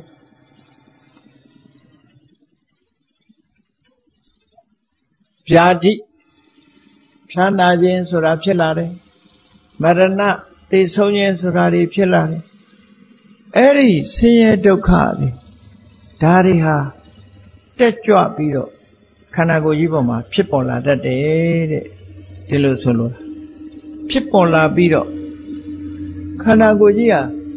စရာကြောင့်ရင့်ရောလာတယ်ဗျာဒိကြောင့်မရဏကြောင့်ပေါက်ကွဲပျက်စီးသွားတယ်ဟောကြည့်လေနောက်ဆုံးကြလို့ရှင်ဒီယုတ်ခန္ဓာကြီးဟာ တဖြည်းဖြည်းရင့်ရော်လာပြီးတော့နောက်ဆုံးမှပေါက်ကွဲပျက်စီးသွားတဲ့သဘောမျိုးရှိတာပထမဖူးယောင်ထလာတယ်ဒီအိုင်းအမာကြီးလိုပဲအိုင်းအမာကြီးကပထမဖူးကြီးလိုပေါ်လာတယ်ဖူးဖူးယောင်ယောင်ကြီးဖြစ်လာတယ်ဖူးဖူးယောင်ယောင်ကြီးဖြစ်လာပြီးတော့နောက်ပြီးတော့ဘာဖြစ်လဲအနာကြီးကမှဲ့လာတယ်မှဲ့လာပြီးတော့ဘာဖြစ်လဲပေါက်သွားတယ်ဟောဘယ်အချိန်မှကြည့်ကြည့်စပြီးတော့ပေါ်လာတဲ့အချိန် မှဲ့လာတဲ့အချိန်ပေါက်သွားတဲ့အချိန်အလုံးဟာတကယ်ကိုအိုင်းအမာကြီးဟာရွံစရာကောင်းတယ်လို့ဟောဒီခန္ဓာကိုယ်ကြီးကလည်းအိုမင်းလာပြီဆိုလို့ရှိရင်ရောင်းလာတာနဲ့တူတူပဲဖြာတိဖြစ်လာပြီဆိုလို့ရှိရင်ရင့်သွားတာနဲ့တူတူပဲမရဏဖြစ်လာပြီဆိုရင်ပေါက်ကွဲသွားတာနဲ့တူတူပဲတဲ့ဒါကြောင့်မို့လို့ဟောဒီခန္ဓာကိုယ်ကြီးဟာတကယ်ကို ခန္ဓာလို့ဆိုတဲ့အိုင်းအမာကြီးနဲ့တူပါပေတယ်လို့ခန္ဓာကိုယ်ပေါ်မှာတန်ရောစဉ်ဆိုတဲ့တွေ့တာမှုတွေခင်းဝေးသွားအောင်ယခုလိုဝိပဿနာဉာဏ်နဲ့ရှုမြင်သုံးသပ်နိုင်ရမယ်တဲ့အဲ့ဒီလိုခန္ဓာကိုယ်ကြီးကိုအိုင်းအမာကြီးနဲ့တူတယ်လို့ရှုနိုင်တဲ့ယောဂီပုဂ္ဂိုလ်ဟာဝိပဿနာဉာဏ်တွေထဲမှာအစစ်မြင်တဲ့အနုလောမိကခန္တီဉာဏ်ဆိုတာကိုရတယ်ကဲခန္ဓာကိုယ်ကြီးကအိုင်းအမာကြီးနဲ့တူတယ်လို့ဆိုတော့ အနာယောဂကြီးဆိုတာဘယ်သူမှကြိုက်တာမှမဟုတ်တာအိုင်းအမာကြီးနဲ့တူတယ်ဆိုခန္ဓာ၅ပါးဟာမရှိတော့ဘူးဆိုလို့ရှိရင်အိုင်းအမာကြီးပျောက်ကင်းသွားတာနဲ့တူတူပဲပေါ့ဒါကြောင့်မို့ပိစဏံခန္ဓာနံនិရောဓောအကြောင်းတရားတွေပြတ်သွားလို့ခန္ဓာပေါ်မှာတွေ့တာမှုတွေရပ်သွားလို့ခန္ဓာ၅ပါးချုပ်သွားတယ်ဆိုတဲ့အနေအထားတစ်ခုဟာအခန္ဓာအိုင်းမာကြီးပျောက်သွားတာနဲ့တူတယ် ဟုတ်တယ်အနာကြီးရှိတော့ကဒုက္ခတွေခံရတယ်အနာပြောက်သွားတဲ့အခါမှာချမ်းသာသွားတယ်အဲ့ဒါလိုပဲခန္ဓာကြီးရှိနေတော့ကဒုက္ခတွေရောက်တယ်ခန္ဓာပျောက်သွားတဲ့အခါကျတော့ဒုက္ခဆိုတာမရှိတော့ဘူးဒါကြောင့်မို့ပိစဏခန္ဓာနံခန္ဓာ၅ပါးတို့ရဲ့និရောဓချုပ်ငိမ့်သွားမှုဟာအခန္ဓာအိုက်အမှာမရှိတော့တဲ့နိဗ္ဗာန်အတိနိဗ္ဗာန်ပဲလို့ ပတ္တန်တော်ရှုမြင်လာတဲ့ယောဂီပုဂ္ဂိုလ်ဟာမက္ကနိယမအရိယသမ္ပတ္တနိယမအရိယမက်လို့ဆိုတဲ့သမ္ပတ္တနိယမတရားတို့ဥက္ကမတိဝင်ရောက်သွားနိုင်ပါတယ်ဆိုတာ message ဖြစ်လာနိုင်တယ်လို့ဒီလိုဆိုလိုတာအေးဒါကြောင့်မို့လို့ဘုန်းကြီးတို့တွေကိုယ်တဏ္ဍာမှာရှိတဲ့ခန္ဓာတွေပေါ်မှာတွေ့တာမှုဆိုတာပျောက်ကင်းသွားအောင်ယခုလိုရှုဖို့လိုအပ်တယ် အခုလိုရှုလိုက်တဲ့အခုလောက်တည်ငါလေးတခဏလေးသိလိုက်တဲ့အသည့်ဟာခုနကပြောတယ်လို့ပဲတဏှာမှာတန်ဖိုးအရှိဆုံးအသည့်တစ်ခုကိုသိလို့ဖះနဲ့တွေး၍ဖြစ်စေပိစိကဗုဒ္ဓတွေနဲ့တွေး၍ဖြစ်စေသူတို့စီကတရားနာလဲရပြီဆိုလို့ရှိရင်အခုသိတဲ့အသည့်လေးကအထောက်အကူပြုပြီးတော့လင်းလင်းမြန်မြန်တရားဓုတရားမြတ်ကိုရစေနိုင်တယ်လို့ဒီလိုဆိုတာ ဒါကြောင့်မို့ဒီအသိဉာဏ်လေးကိုရအောင်ယူချရမှာဖြစ်တယ်တဲ့ကဲနောက်ရှုပုံတနည်းလေးကိုကြည့်ကြအောင်ဆိုနောက်ရှုပုံရှုနည်းက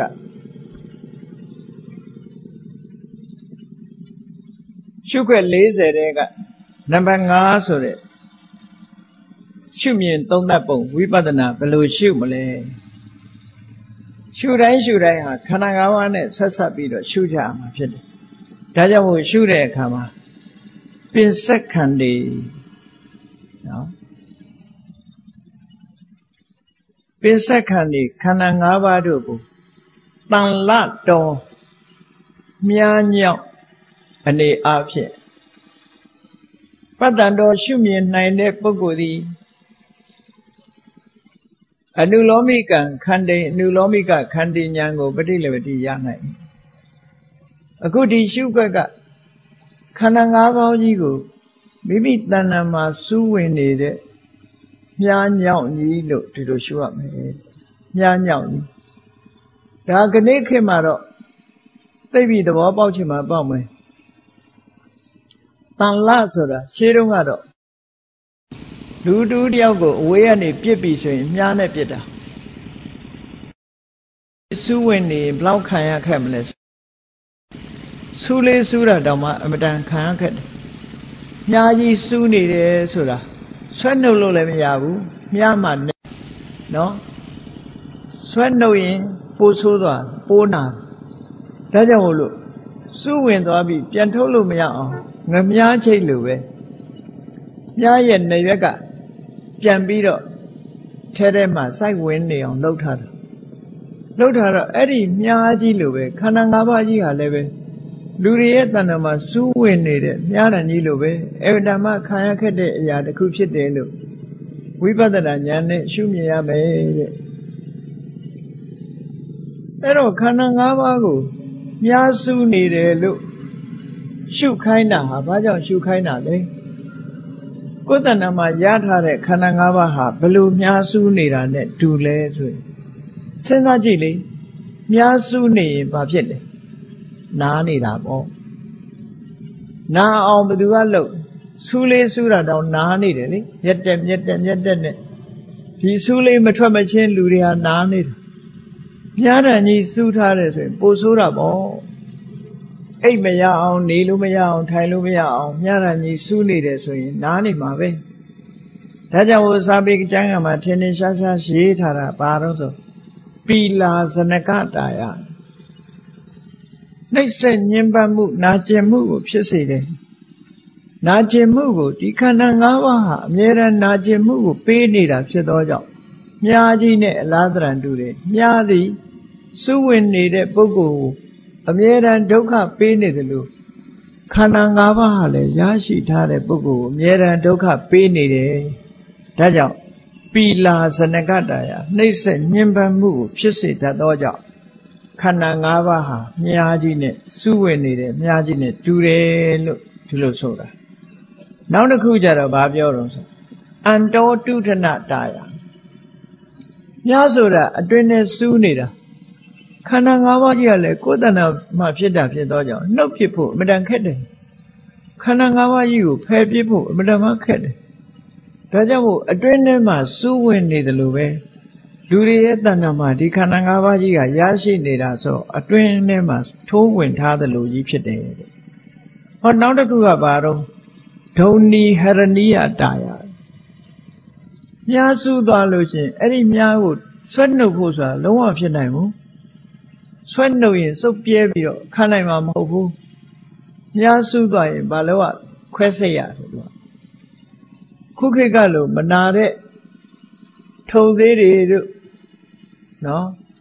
ရှိတာမဟုတ်ဘူးရှေးခေတ်ကမရှိတော့ဒီမြားတန်စူးသွားတဲ့ပုဂ္ဂိုလ်ရဲ့ဒုက္ခကိုစဉ်းစားကြည့်အခုခေတ်လိုမေ့သေးနဲ့ခွဲတာမဟုတ်ဘူးဒီမြားတန်စူးနေလူဟာခံရောပဲအဲ့ဒီမြားကြီးကိုဆွဲနှုတ်တဲ့အချိန်မှလည်းပဲအလွန်ဒုက္ခရောက်တယ်နှုတ်ဖို့လည်းအမတန်ခက်တယ်တဲ့ဒါမို့ဒုံနီဟရဏိယတာယဆွဲနှုတ်ဖို့အလွန်ခက်ခဲသည်ဖြစ်ကြောင်းလည်းပဲ ခန္ဓာကိုယ်ကြီးကလည်းဖယ်ရှားဖို့တော်တော်ခက်တယ်မလိုချင်ဘူးဆိုလို့မရဘူးလောကတ attva တွေကိုယ်တဏ္ဍာမှာရှိနေတဲ့ခန္ဓာကိုယ်မလိုချင်တဲ့ခန္ဓာကိုယ်ရနေမှာပဲနွားဖြစ်ရင်လည်းနွားခန္ဓာခွေးဖြစ်ရင်လည်းခွေးခန္ဓာကြက်ဖြစ်ရင်လည်းကြက်ခန္ဓာဖြစ်မှာကြက်တည်းရဲ့ခန္ဓာကိုယ်ဆိုဘလောက်တနာစရာကောင်းလဲနော်အလုံးမြင်မှုကြမှာပေါ့ကြက်တည်းခြေထောက်တွေကျိုးနဲ့ဆုချီပြီးတော့ မော်တော်ဆိုင်ကနောက်ကနေဆွဲသွားတာတို့စပိတ်နောက်ကတင်သွားတာတို့ဘလောက်ဒုက္ခရောက်မလဲဆိုတာစဉ်းစားကြည့်ပေါ့အဲ့ဒီဒုက္ခတွေဟာဘယ်သူကပေးတဲ့ဒုက္ခလဲဆိုရင်ခန္ဓာကပေးနေတဲ့ဒုက္ခတွေပဲခန္ဓာရနေလို့ဒီဒုက္ခခံရတာဝက်တွေကြက်တွေဘလောက်ဒုက္ခရောက်သူတို့ဒုက္ခရောက်တယ်လို့လူတွေရဲ့ခန္ဓာကိုယ်ရောဒုက္ခမရောက်ဘူးလားရောက်တာပဲ ခန္ဓာရှိတဲ့ပုဂ္ဂိုလ်ဟာဘလောက်ချမ်းသာတဲ့ပုဂ္ဂိုလ်ဖြစ်ဖြစ်တော်ကြယောဂဖြစ်လို့တဲ့တော်ကြဆေးကုရတဲ့နဲ့ဆိုပြီးတော့လူတွေဟာပတ်စံရှာလို့မလောက်နိုင်လောက်အောင်ရှာထားတဲ့ပစ္စည်းတွေလည်းယောဂဆေးကုရတာနဲ့ကုန်ရတာတွေလူလောကမှာအများကြီးပဲပေါ့ဒါကြောင့်မို့လို့ခန္ဓာ၅ပါးဟာဘာနဲ့တူတော့ဆိုရင်စူးဝင်နေတဲ့မြားရံကြီးနဲ့တူတယ်တဲ့ အမြဲတမ်းနှိမ့်ဆက်ညှဉ်းပန်းနေတယ်အတွင်းထဲဝင်နေတယ်ဆွဲထုတ်ဖို့ခက်ခဲတယ်ခန္ဓာ၅ပါးဟာလည်းပဲထို့တူပဲအမြဲတမ်းဒုက္ခတွေပေးနေတယ်သရဝရရဲ့တဏ္ဍာဆိုတဲ့အတွင်းထဲမှာရောက်နေတယ်ဆွဲထုတ်ဖို့ခန္ဓာ၅ပါးကြီးကိုမလိုချင်လို့ဖယ်ရှားဖို့အမတမခဲနေလို့ဟောတယ်လို့မြင်ဖို့ရဒီရောဒီရှုခွက်ကိုပေးတာအေး ခန္ဓာ၅ပါးတို့ရထားတဲ့ရုပ်ဝေဒနာသင်ညာသင်္ခါရဝိညာဉ်ဆိုတဲ့ဒီခန္ဓာ၅ပါးဟာတကယ်မြားရန်ကြီးပဲလို့ဒီလိုဝိပဿနာဉာဏ်နဲ့ရှုလိုက်မယ်ဆိုရင်အစစ်မြင့်တဲ့ဝိပဿနာရဲ့အနုလောမိကခန္တီဆိုတဲ့မက်ဖို့ထီအောင်ပို့ဆောင်ပေးနိုင်တဲ့ဉာဏ်မျိုးကိုရသွားနိုင်တယ်ဒါဖြင့်ခန္ဓာကိုပြားရန်ကြီးလို့စုဝင်နေတဲ့မြားကြီးလို့ရှုမြင်လာနိုင်တဲ့ပုဂ္ဂိုလ်ဟာ တစ်ဖက်ကနေကြည့်လိုက်မယ်ဆိုရင်ခန္ဓာ၅ပါးမရှိတော့ဘူးပိစဏံခန္ဓာနံនិရောဓအဲ့ဒီခန္ဓာ၅ပါးဟာလုံးဝချုပ်ငိမ့်သွားပြီဆိုလို့ရှိရင်သူ့စိတ်ထဲမှာဘာဖြစ်လာတော့ဝိတံလံနိဗ္ဗာန်တိပတ္တင်တော်မြားတံမရှိတော့တဲ့နိဗ္ဗာန်ကြီးပဲခန္ဓာ၅ပါးကင်းသွားခြင်းသည်မြားတံကြီးကင်းသွားတာနဲ့တူတူပဲမြားတံကြီးကင်းသွားတဲ့မြားတံမစုဝင်ခြင်းမရှိတဲ့ အရာဟာခန္ဓာ၅ပါးချုပ်ငိမ့်သွားလို့မြားတံကြီးမရှိတာနဲ့တူလို့အဲ့ဒါဟာနိဗ္ဗာန်ပဲလို့ရှုမြင်နိုင်တဲ့ပုဂ္ဂိုလ်ဟာတမ္မတ္တနိယမဩကပတိဒီလိုရှုလိုက်တာနဲ့ပဲနိဗ္ဗာန်ကိုမြင်ရပြီနောက်ဆုံးမှာမဲ့ညာလုံးဝပြောင်းလဲမှုမရှိတဲ့တမ္မတ္တနိယမမှန်ကန်ပြီးတော့ခိုင်မာတဲ့မဲ့ညာတစ်ခုကိုရရှိသွားတယ်ဒီလိုဆိုလိုတာအဲ့တော့ အခုဒီရှုွက်တွေပေးတာကလူတိုင်းလူတိုင်းအတိအတိမှရှိတဲ့ကိုယ်ခန္ဓာကိုယ်ကိုဆင်ញင်စဉ်းစားဖို့ပေးတာနော်ကိုယ်ခန္ဓာကိုယ်ပေါ်မှာသဘောကျမနေနဲ့ဒီလိုဒုက္ခတွေရှိတယ်ဆိုတာမြင်ဖို့အဲ့ဒါလိုမြင်လိုက်လို့ရှိရင်ခန္ဓာ၅ပါးမရှိတာဟာပိုကောင်းတယ်ဆိုတာကိုသိရှိလာဖို့အရာအတွက်ဒီရှုခွက်40ကိုရသော်ဗျာဟောကြားတာဖြစ်တယ်ပေါ့အေးဒီအသိဉာဏ်တွေရမှသာလဲ ဘုရားဘာသာဝင်သူတော်စင်တို့မျှော်မှန်းတဲ့နိဗ္ဗာန်ချမ်းသာဆိုတာရလာမှာဖြစ်တယ်အဲ့ဒါလို့မဟုတ်ဘဲနဲ့နိဗ္ဗာန်ချမ်းသာကိုရရပါလို့ဤလို့ဆိုနေုံနဲ့တော့နိဗ္ဗာန်ချမ်းသာဟာရလာမှာမဟုတ်ဘူးတဲ့အခုလို့လက်တွေ့ရှုမြင်သုံးသပ်ခြင်းသည်နိဗ္ဗာန်ချမ်းသာရဖို့ရတဲ့လမ်းကြောင်းပေါ်ရောက်နေတယ်လို့ဒီလိုမှတ်ရမယ်ပေါ့ဒါကရှုွက်တစ်ခုအနေနဲ့နော် နံပါတ်6ရှုွက်တစ်ခုအနေနဲ့ပေးတာနောက်တစ်ခါနံပါတ်9ရှုွက်တစ်ခုအနေနဲ့ကြည့်ဘယ်လိုရှုနိုင်သေးလဲကိုယ်ခန္ဓာကိုယ်အာယုံစိုက်ထားကြည့်ခန္ဓာကိုယ်ဘယ်လိုရှုနိုင်သေးလဲလို့ဆိုပင်ဆက်ခန္ဒီအာဘာဒတော်ပတ္တန်တော်အနုလောမိကံခန္ဒီပฏิလေဝတိပင်ဆက်ခန္ဒီခန္ဓာ၅ပါးတို့ကို အာဘာဒတော်နာကျင်တတ်နှိစ္စတတ်သောတရားဟု၍ပတ္တန်တော်ရှုမြင်တဲ့ယောဂီပုဂ္ဂိုလ်သည်အနုလောမိကံခန္တိအနုလောမိကခန္တီဉာဏ်ကိုပฏิလဝတိရနိုင်၏ဟောဝိပဿနာဖြစ်တာအဆင့်ဆုံးအမြင့်ဆုံးကိုပြောပြအာဘာဒဆိုတာလူတွေရဲ့တဏ္ဍမှာ ဆွဲကပ်ပြီးတော့အမြဲတမ်းနာကျင်နေတဲ့ယောဂမျိုးကိုအာဘာဒလို့ခေါ်တယ်နော်ဒူးနာတယ်ခါနာတယ်လူတွေဟာနားနေတယ်ဖြားနေတယ်မထနိုင်ဘူးအိပ်ရတယ်လဲနေတယ်ဆိုတဲ့ယောဂမျိုးတွေအဲ့ဒီယောဂမျိုးတွေကိုအာဘာဒနာကျင်တယ်နှိမ့်ဆက်တယ်အဲ့ဒီအနာယောဂမျိုးတွေလူတွေရဲ့တဏ္ဍမှာဖြစ်တတ်တယ်တဲ့ အာဘာဒဆိုတဲ့အနာနော်လူတွေမှာယောဂကိုနှမျိုးခွဲထားတာရှိတယ်အာဘာဒဆိုတဲ့အနာကတစ်မျိုးခုနရောဂဆိုတာတော့အထွေထွေရေပုံရအဖြစ်ပြောတဲ့စကားအခုအာဘာဒဆိုတာတော့ခန္ဓာကိုယ်ထဲမှာအမြဲတမ်းနာကျင်ပြီးတော့မလှုပ်နိုင်မရှားနိုင်အောင်ဖြစ်နေတဲ့အနာမျိုးနောက်တစ်ခုကအာတင်ငါလို့ခေါ်တယ် အာတင်ငါဆိုတာအမြဲတမ်းဆေးစားပြီးမြတ်တအောင်နေရတဲ့ယောဂမျိုးတချောင်းချောင်းနေရတဲ့ယောဂမျိုးလို့ဆိုလိုတယ်ဥမာမဲ့နှလုံးယောဂါတို့စီဂျူယောဂါတို့ဆိုတာတဲ့တာလေးစားပြီးတော့အလုံးလည်းမလုံးနိုင်ဘူးလှုပ်လိုက်ရင်လူကမောလာတယ်ဆိုတဲ့ယောဂမျိုးတွေပေါ့အဲ့ဒီယောဂမျိုးတွေကိုအတင်ကလို့ခေါ်တယ် အာဘာဒဆိုတာကြတော့အဲ့လိုကမဟုတ်ဘူးအဲ့ရတဲ့လဲနေလောက်အောင်နာတဲ့ယောဂမျိုးတွေပေါ့ဖြားတယ်နာတယ်မလှုပ်နိုင်ဘူးဒူးနာတယ်ဒီလိုဟာမျိုးတွေပေါ့လေအဲ့တော့ခန္ဓာ၅ပါးကြီးကိုအဲ့ဒီလိုယောဂမျိုးကြီးလို့ရှုမြင်နိုင်ရမယ်တဲ့ဝိပဿနာဉာဏ်နဲ့ရှုရ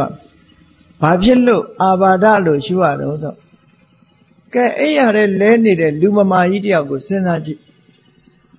အဲ့ရတဲ့လဲနေတဲ့လူမမာကြီးတယောက်ဒီသူ့ဟာသူဘာမှမလုပ်နိုင်ဘူးရေလည်းထမတော့နိုင်ဘူးအနောက်ဖေးနောက်ဖေးလည်းထပြီးတော့မသွားနိုင်ဘူးသူ့ဘာသူလည်းအိယာတဲ့ကမထနိုင်ဘူးမထနိုင်တဲ့အတွက်ကြောင့်သူဟာသူ့ရဲ့အစွမ်းအစတွေကုန်ခန်းနေလို့သူများပေါ်မှာမိခိုးနေရတယ်ရေလေးတောက်ချင်လည်းသူများတိုက်မှတောက်လို့ရတယ်ထားခြင်းလို့ရှိရင်လည်းထူပေးမှထားလို့ရတယ်ဟော အဲ့ဒီလိုခန္ဓာ၅ပါးကြီးဟာလည်းအဲ့ဒီအခြေအနေမျိုးပဲလို့မြတ်စွာဘုရားကဒီလိုဟောတာနော်အဲ့ဒီလိုယောဂတဲ့ကြီးလို့ယောဂတဲ့ကြီးမှာဆွဲကပ်နေတဲ့မထူနိုင်မထနိုင်တဲ့မလုံနိုင်မရှားနိုင်တဲ့ယောဂမျိုးကြီးဆွဲကပ်နေတာလို့ခန္ဓာ၅ပါးပေါ်မှာအဲ့ဒါလို့ရှုမြင်သုံးသပ်ပါတဲ့အဲ့တော့အာဘာဒဆိုတဲ့ယောဂဆွဲကပ်နေပြီဆိုရင်ဘာဖြစ်လဲဆိုရင်အသေရီဘာဝ ဆနကထာယသေရီဆိုတာကိုယ်စိတ်တိုင်းကြသွားနိုင်တယ်လာနိုင်တယ်စောင်းနိုင်တယ်တောင်းနိုင်တယ်ကိုယ်သဘောဆိုတာသေရီကိုယ့်ဘာကိုလုံနိုင်ကိုင်းနိုင်အေးအခုလို့အိရတဲ့လဲနေတဲ့ယောဂမျိုးကြီးရပြီဆိုလို့ရှိရင်သေရီမဟုတ်တော့ဘူးအသေရီပါဝ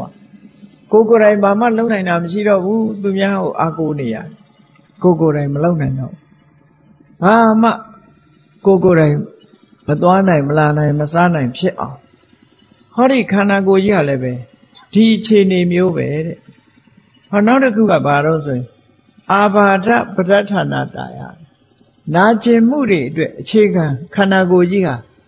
ဘာဖြစ်တယ်ဆိုလဲဒီခန္ဓာကိုယ်ကြီးမှာပဲနာတယ်ကျင်တယ်ကြိုက်တယ်ခဲတယ်ဟောဒီခန္ဓာကိုယ်ကြီးမှာဖြစ်တယ်အဲ့ဒီခန္ဓာ၅ပါးဟာယောဂဝေဒနာနာကျင်မှုတွေရဲ့အနိကအကြောင်းဖြစ်နေလို့ဒါကြောင့်မို့လို့ तू ဟာ အာဘာဒလို့ပဲဒီလိုရှုရမယ်လို့မြတ်စွာဘုရားအနတ္တလက္ခဏာသုံးပါလဲမြတ်စွာဘုရားဟောတာလေရူပံဘိက္ခဝေအနတ္တ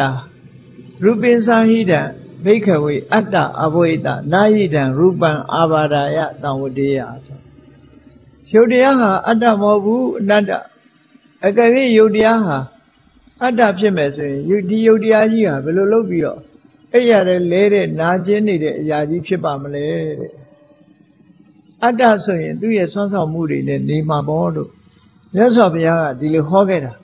ဒါကြောင့်မို့လို့ဘုန်းကြီးတို့တွေကိုရထားတဲ့ခန္ဓာကိုယ်ကို အာဘာဒတကယ်ကိုယောဂဆွဲလို့အဲ့ရတဲ့လဲနေရတဲ့ယောဂမျိုးကြီးပဲလို့ခန္ဓာ၅ပါးပေါ်မှာဒီလိုရှုမြင်သုံးသပ်ပါလို့ အဲ့ဒါလို့ရှုမြင်သုံးသပ်လိုက်လို့ရှိရင်ဝိပဿနာဉာဏ်นี่အစစ်စစ်တက်လာနိုင်တက်လာပြီးတော့ခန္ဓာ၅ပါးအပေါ်မှာခန္ဓာ၅ပါးရှိနေခြင်းသည်အာဘာဒလူမမာအနေအထားမျိုးရောက်သွားတယ်ခန္ဓာ၅ပါးချုပ်ငိမ့်သွားခြင်းဟာကျမ်းမာမှုနဲ့ပတ်သက်တယ်လို့ကျမ်းမာတဲ့အနာရောဂါကင်းတယ်ဆိုတဲ့အနေအထားမျိုးပဲလို့ဟောဒီလို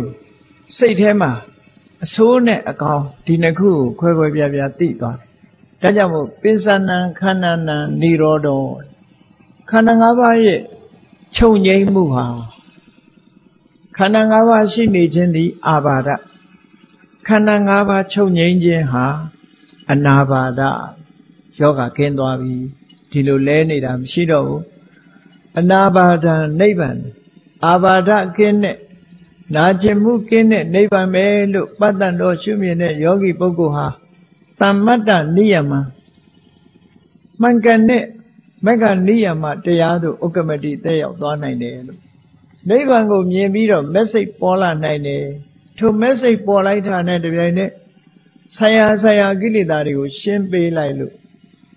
ကံတရားတွေဟာလည်းပဲတဖြည်းဖြည်းတစတစကုန်ခန်းပြီးတော့သွားတယ်